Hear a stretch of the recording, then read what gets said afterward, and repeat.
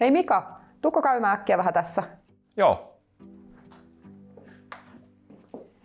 Joo, juteltiin tuossa meidän henkilöstöpäällikön kanssa, että kun sulla toi toimenkuva vähän muuttunut mm. ja sitä kautta sitten vastuukenttä kasvanut aika paljon, niin olisiko kiinnostunut pikkasen lisäkoulutuksesta?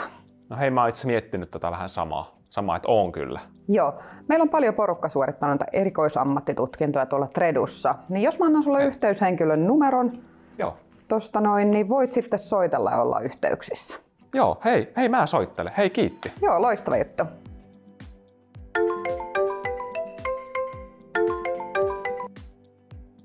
Sari Soini.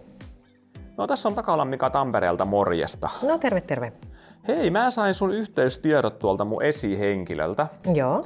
Tota, noin, mulla on tässä nyt aika paljon työtehtävät, ää, tai va- työtehtävien vaatimustaso noussut. Joo. Ja tota, hän vinkkasi, että, että kannattaisi olla suhun yhteydessä tuosta erikoisammattitutkinnosta. Okei, joo. Niin tota, kertoisitko mulle hei vähän, että minkälainen niin kuin, kokonaisuus toi oikein on? No erikoisammattitutkinto on sellaista ammatillista lisäkoulutusta ja se vaatii jo sellaista vahvaa aikaisempaa osaamista sinne taustalle.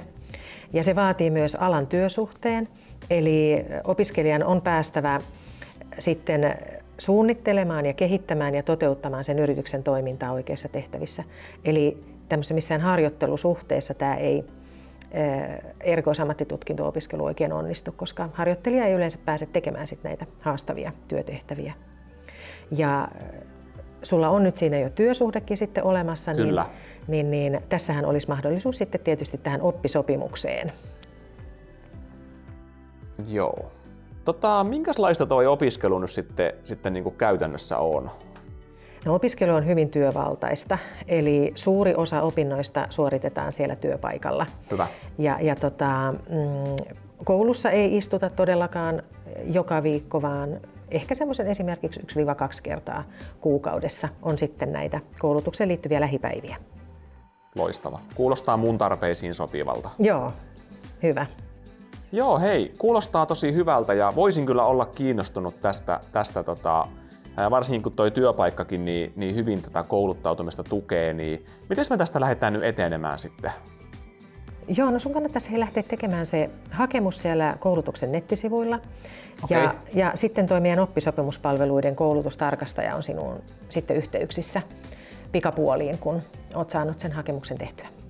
Okei, no hei, mä laitan kuule no, tota hakemusta tulemaan, niin Joo. hei iso kiitos sulle. Joo, kiitoksia. Hienoa, palataan.